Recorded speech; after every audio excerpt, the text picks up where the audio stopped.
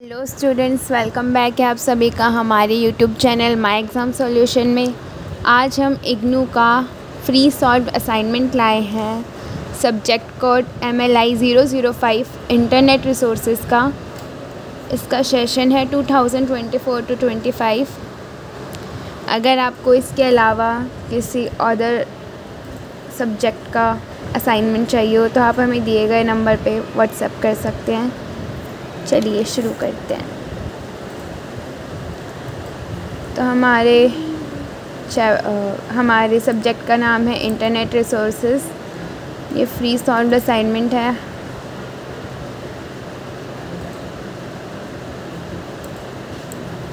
सबसे पहले यहाँ पे आपके क्वेश्चंस दे रखे हैं आपको। जैसे कि फ़र्स्ट पार्ट में आपको दो क्वेश्चन करने हैं, कोई से भी आप टू अटैम्प्ट कर सकते हो। और सेकंड जो पार्ट है, उसमें से आपको कोई भी फाइव क्वेश्चन अटैम्प्ट करने हैं।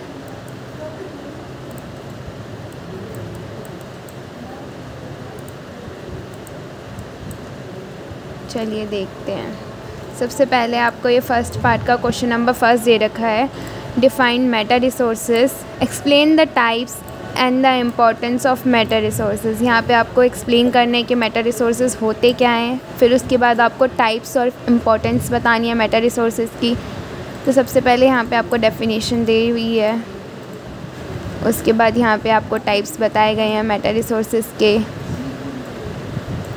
इसके बाद बिब्लोग्राफिक डाटाबेस ये सारे आपके क्या है टाइप्स आ जाते हैं मेटा रिसोर्सेज के, जैसे कि bibliography database library catalogs search engines indexes text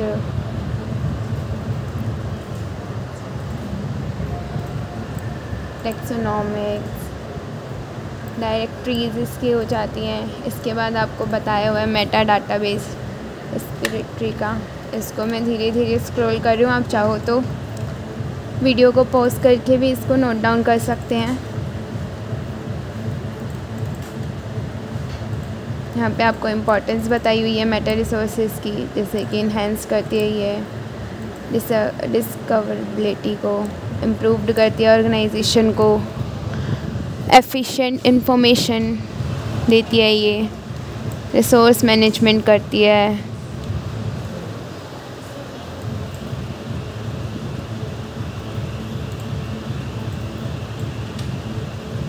यहाँ पे आपका सेकेंड फ़र्स्ट क्वेश्चन को एंड किया गया यहाँ तक। इसके बाद आपका फ़र्स्ट पार्ट का सेकेंड क्वेश्चन है।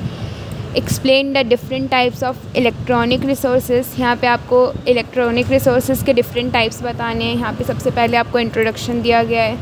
उसके बाद यहाँ पे टाइप बताए गए हैं, जैसे कि ई बुक हो गया ई जनरल्स हो गए डाटाबेस हो गए ऑनलाइन कैटलॉग्स हो गए डिजिटल लाइब्रेरीज़ हो गई मल्टीमीडिया रिसोर्सेज हो गए। आप चाहो तो वीडियो को पोस्ट करके लिख सकते हो। अगर आपको लग रहा है कि वीडियो बहुत ज़्यादा फास्ट रन हो रही है तो।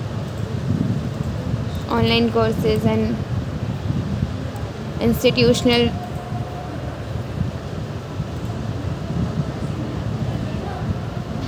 government legal resources ये सारे आपके क्या हैं? टाइप्स दे रखे हैं। Social media blogs e government services यहाँ पे आपका सेकंड क्वेश्चन भी ख़त्म था। अब ये सेकंड पार्ट का फ़र्स्ट क्वेश्चन है। इसमें से भी आपको चार क्वेश्चन करने थे। तो सबसे फ़र्स्ट क्वेश्चन है, आपका describe the technical infrastructure required for a digital library यहाँ पे आपको बताना है कि टेक्निकल इंफ्रास्ट्रक्चर क्या क्या चाहिए होता है डिजिटल लाइब्रेरी को बनाने के लिए। मतलब क्या क्या रिक्वायर होता है उनके लिए। सबसे पहले यहाँ पे आपको पूरा इंट्रोडक्शन दे रखा है देन उसके बाद हार्डवेयर बता रखा है इंफ्रास्ट्रक्चर के। यहाँ पर आपके पॉइंट्स दे रखे हैं, आप इसे नोट डाउन कर लीजिए। यहाँ पे आपको सॉफ्टवेयर सॉफ्टवेयर इंफ्रास्ट्रक्चर बताया गया है। इसके बाद network infrastructure data management security and access control, user interface and experiences, इसके बाद आपका सेकंड क्वेश्चन शुरू होता है यहाँ से। What are the approaches to achieve in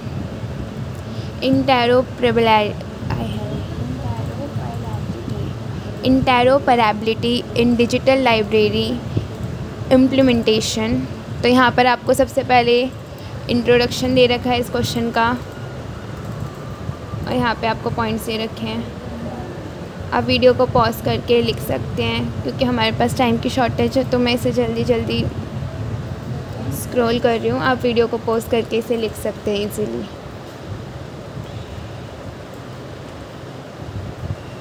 यहाँ पे आपको पॉइंट्स दे रखे हैं, जैसे कि पर परसिस्टेंस आइडेंटिफायर्स कोलेबरेटिव फ्रेमवर्क और frameworks access and open data policies.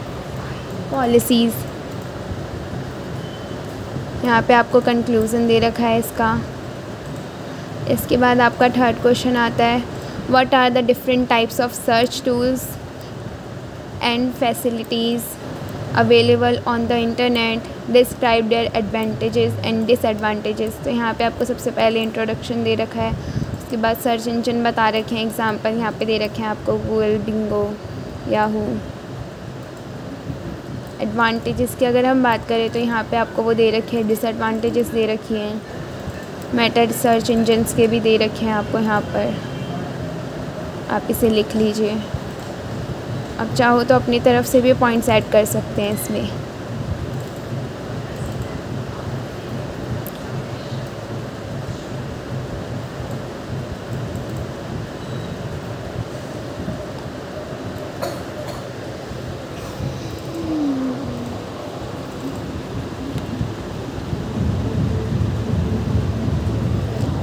यहाँ पे आपका कंक्लूज़न दे रखा है इस क्वेश्चन का। इसके बाद आपका लास्ट क्वेश्चन आता है fourth wide information system C W I S discuss some of the C W I S available on net यहाँ पे आपको सबसे पहले इंट्रोडक्शन ही दे रखा है। आप भी अपने क्वेश्चन को कुछ इसी टाइप से लिखेंगे। इंट्रोडक्शन फिर मेन बॉडी फिर कंक्लूज़न तो आपको भी अच्छे नंबर मिलने के चांसेस होते हैं। यहाँ पे आपको की फ़ीचर्स बता रखे हैं सी डब्ल्यू आई एस के।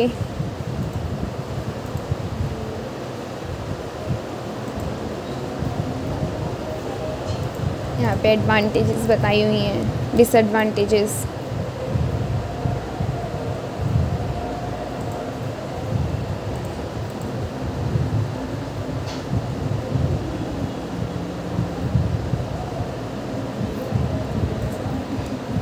आप भी अपने असाइनमेंट का फॉर्मेट कुछ इसी टाइप से रखेंगे तो आपको भी अच्छे नंबर मिलने के चांसेस हैं। यहाँ पर इसे कंक्लूज़न के साथ ख़त्म किया गया है।